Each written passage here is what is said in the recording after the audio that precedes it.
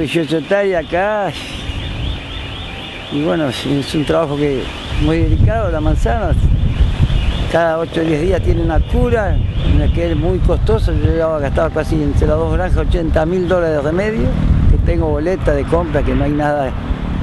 Y bueno, ayer justamente a mediodía lo miramos con mi hijo, la sanidad que tenía más o menos, que era un año difícil este año de cura.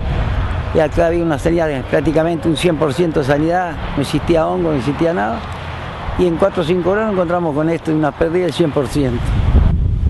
Dino Vallauri, 75 años, toda la vida en la granja, con muy pocas ganas de seguir porque ya no se puede más con esto. Con el clima ha cambiado todo y bueno, habrá que buscar que mi hijo busque otro camino y yo tratar de jubilarme, no me queda otra.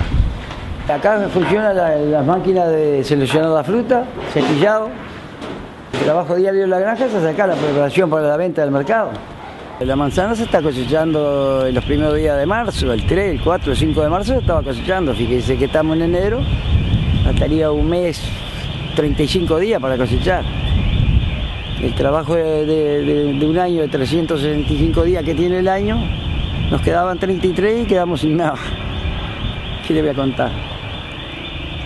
Y lo que más me preocupa es cómo queda la planta castigada también, porque estoy mirando las yemas tan peladas, tan no, es solo que se perdió este año, sino que el año que viene va a tener problemas la planta también.